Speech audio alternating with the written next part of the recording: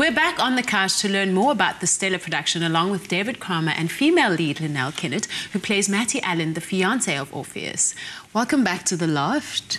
We had last had you when you were talking about another big production you were on, right? Yes, that's correct, Bunny. Yeah. Um, that was just before West Side Story, and yes. that was a couple of months ago now.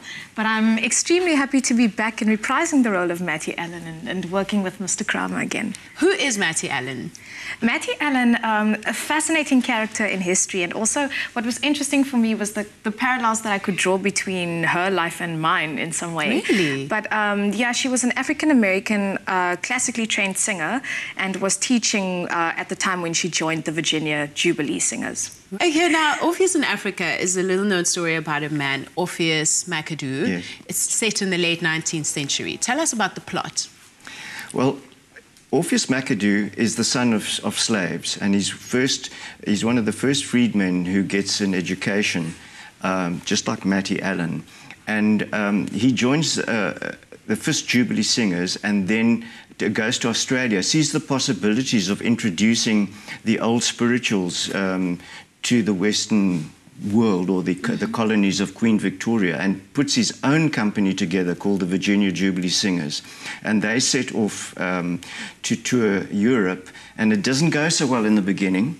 And um, he meets up with, with Lady Loch, who is the wife of the governor to the Cape, Henry Loch, right. and she persuades him to come to Cape Town. And they come to Cape Town not knowing what to expect in Africa, uh, and are a huge success in South Africa not only in Cape Town, they actually tour South Africa wow. for two and a half years before going uh, off to Australia. Yeah. This is this is a true story yeah. about a big um, group of African American singers who introduced the um, the spiritual to uh, to this continent and to to Australia. Wow, what an incredible story! What drew you to the story? Well, firstly, I saw a photograph of them. Um, and I was uh, working on another musical called Ghoema, uh, and I was researching, um, you know, sort of the origins of Cape music and so on. And I, and I saw that there'd been this uh, visit to Cape Town by this company, and they were dressed in, you know, top hats and Victorian tailcoats, and they all looked very smart and beautiful costumes. Yeah. And I thought, now who can these people be, you know? And then I started to find out more and more about them. And, he, you know, he is, he's an impresario and a great uh, singer and, uh, and, and a, a man who, who takes on the, the world of, of, the, of Queen Victoria and and succeeds. Wow. You know, he yeah. uh, he succeeds, and and even when things get difficult for him, he reinvents himself. Um, so it's he's a fascinating theatrical sure, personality. Sure.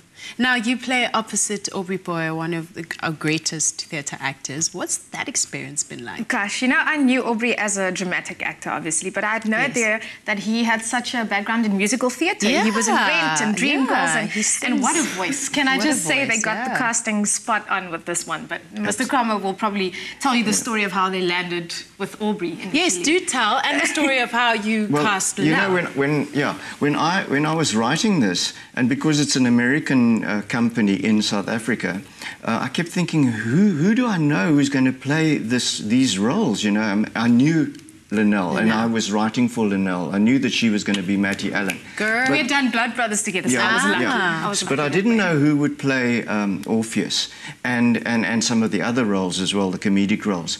Um, and the director of, um, of West Side Story, Matthew Wild, he said to me, Do you know Aubrey? And I said, No, I've never heard of him. And they said, Fly him down. Fly, mm. He's your guy. He's your guy. And we flew him down. He auditioned.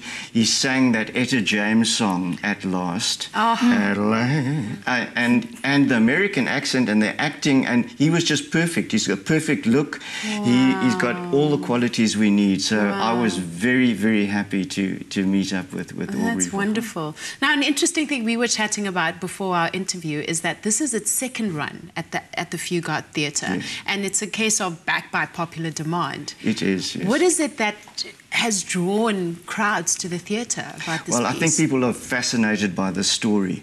It's so beautifully sung. Um, the singing mm. is partly operatic. It's it's it's this gospel uh, choir sound, you know, from the 1890s. The sure. costumes are are exquisite. I mean, these, yeah. the, what these women look like in the Victorian outfits is just beautiful. Wow. I can just say, be glad we don't have to wear corsets in today's day and age. Wow, because yeah. that so, waist training every night, hey? Yeah. That's good. So I think, you know, the look of the show um, the, the, costumes, the, the, the, set design, the performances, and then this very interesting true story yes. that nobody knew about. That's incredible. Lynelle, what do you love most about playing Mattie Allen?